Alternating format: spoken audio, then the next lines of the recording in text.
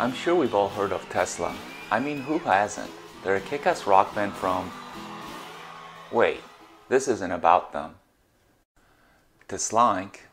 is a boring company from Palo Alto, Texas, Austin, California, led by the so-called financial expert Lloyd Ostertag.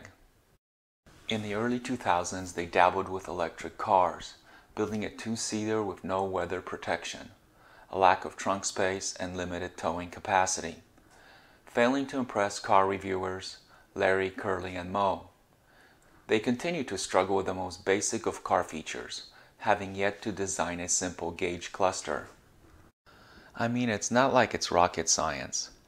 Perhaps it's those shortcomings, coupled with their inability to focus on just one thing, that their parts can now be found for sale on eBay. Which brings us to the Tesla Model S Gen 2 onboard charger. Why this one? Why not something else? And what is this video all about? Not all Gen 2 onboard chargers have been created equally, and some do not lend themselves to EV conversions. I'm doing an EV conversion. More specifically, I'm shoving this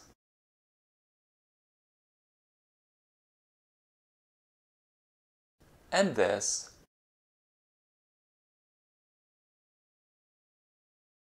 into that.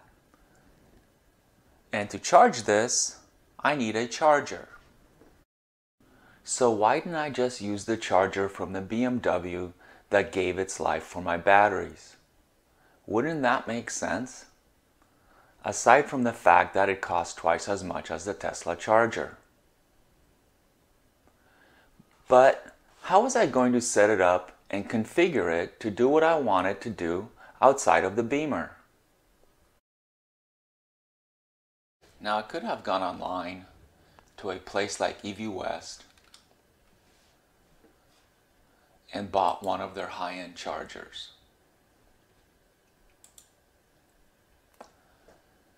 But I was only three grand short. At the time I recorded this video, electric cars have been around for over a decade. Plenty of time to have some of them find their way to the local wreckers and hit the used parts market. Allowing the folks at Open Inverter to reverse engineer the technology.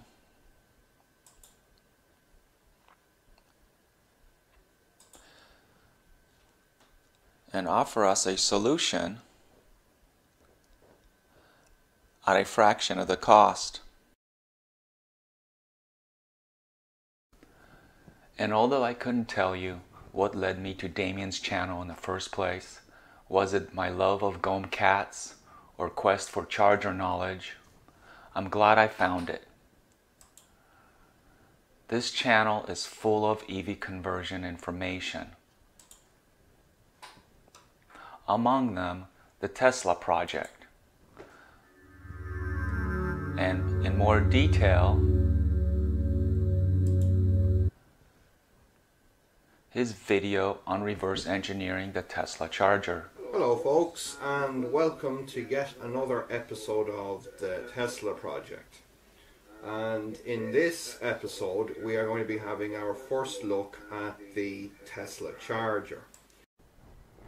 Not only did Damien Maguire spearhead the reverse engineering process, but he documented it and offers the secret sauce on his GitHub. It's available in both Alienese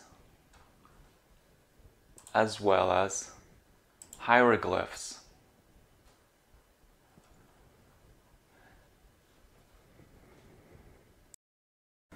Allowing those with an electrical engineering gene to build their own circuit boards from scratch, taking their EV builds to another level.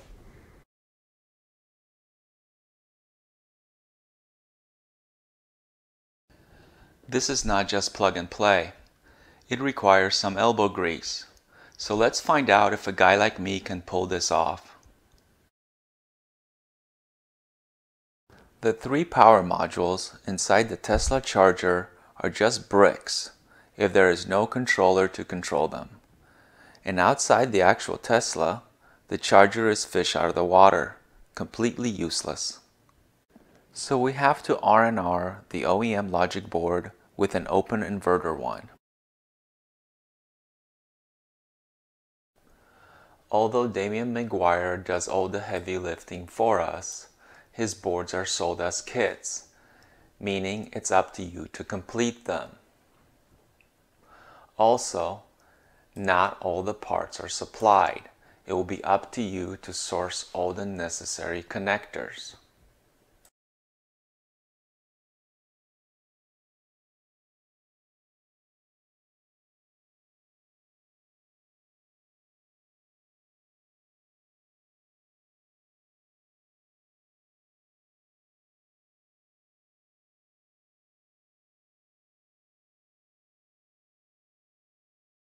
DigiKey is a good place to order your parts.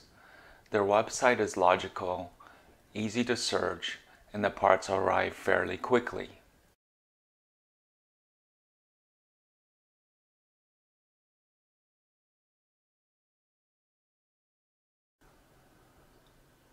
Although there is no traditional tech support for us to call, there is an active forum community willing to help you, as well as a well documented wiki.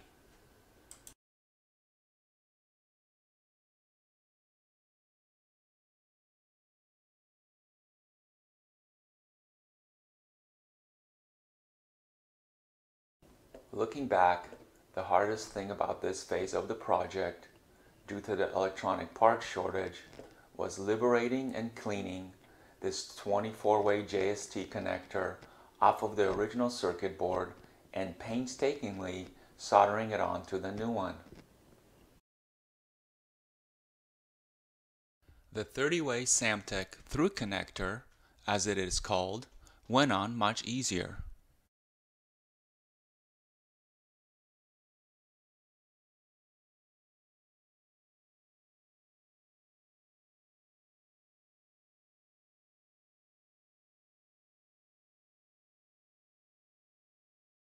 So there are connectors on two sides of this charger.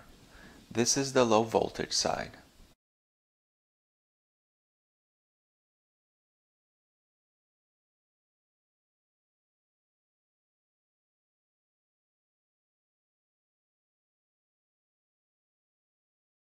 The charger gets its power from a regular 12 volt car battery. For that, I had to make my own harness.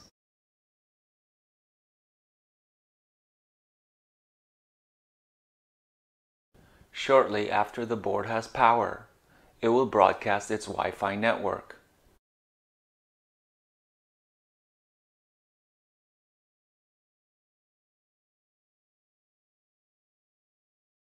You can configure your settings at this point.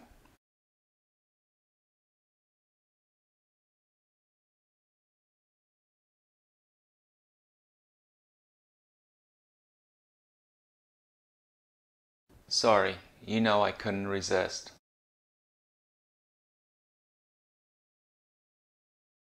So this brings us to the high voltage side, the business end of the charger.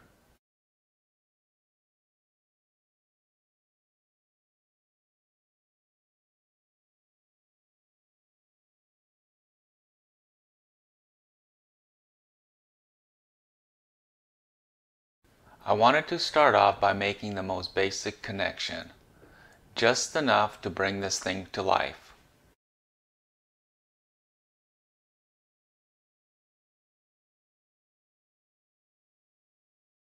This would only power up one module, but if I was to make smoke, better to just smoke one than all three.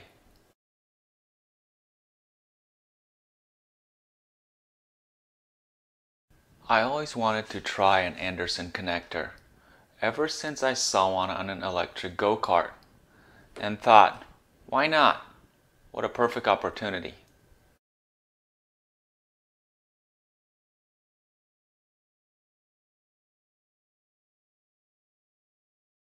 I also decided to ruin another extension cord, this one with a ground.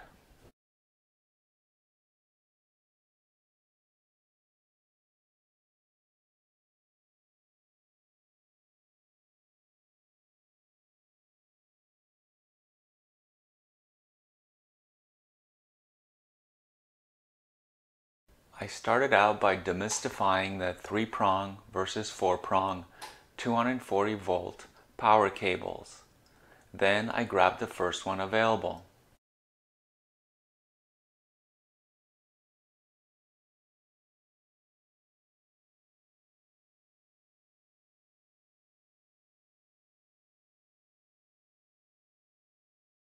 I followed the same game plan as with the 120. First, only wire up one module.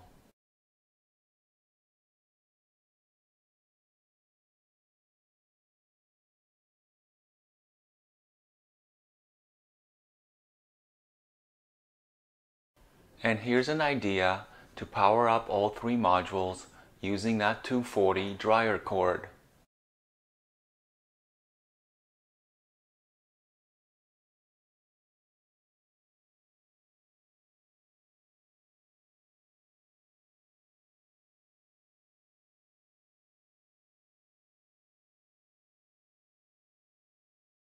By also running an Anderson connector on this cord, I could easily swab between the 120 and the 240 as I pleased.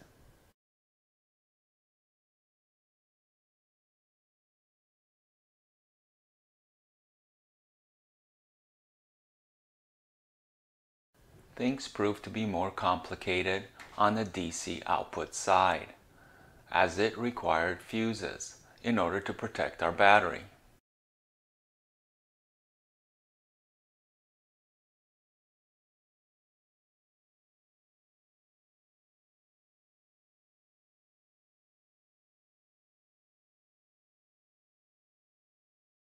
I also went with an Anderson connector on the DC output side, this time using the larger SB120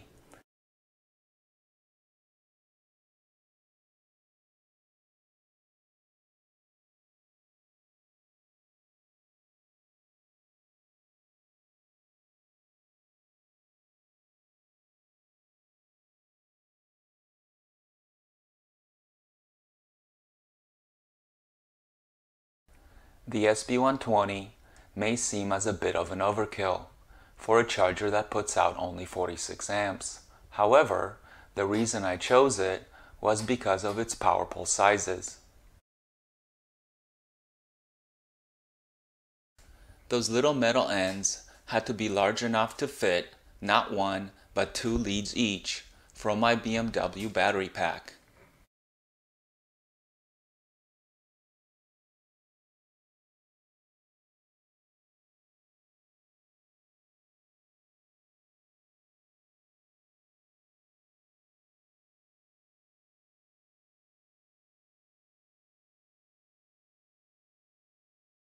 Here are the BMW 530e 6 cell modules. Well, in the end it worked, and I was able to charge my battery. So I guess I must have done something right.